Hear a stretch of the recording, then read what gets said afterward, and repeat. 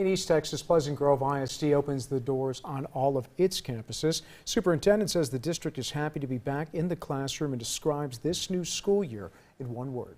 growth, growth in our professional learning community and how we educate students, how we uh, grow as professionals. You're also going to see growth in our, our literacy program. We are really making strides and seeing results in student uh, outcomes uh, from our literacy program, and then just growth in our people. He says the district will soon start on the renovations approved in the $40 million bond earlier this year.